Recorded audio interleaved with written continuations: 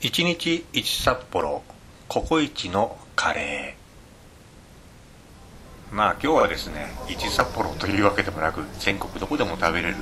ココイチ番屋なんですけども札幌すすきの店に行ってまいりました。全国で1296店舗あるんですってね。で海外が161店舗。アメリカ中国台湾韓国タイ香港シンガポールインドネシアマレーシアにフィリピンと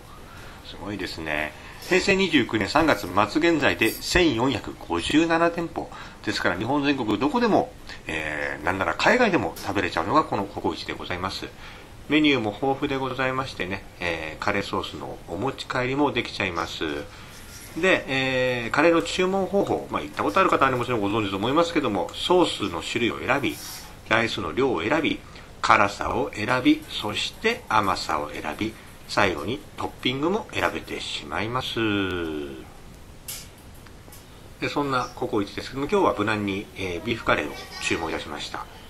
これねココイチ常駐、えー、常食者にとってはですねこの絵を見るだけでも湧くいてと思うかもしれませんけどもね、まあ、あの本当に、まあ、僕ね正直月1回2ヶ月に1回ぐらい時々半年ぐらい食べない時もあっちゃうんですけども無性に食べたくなる時がありまして札幌市内もね、えー、10店舗ぐらいありますんで結構あちこちで食べれたりしちゃいます。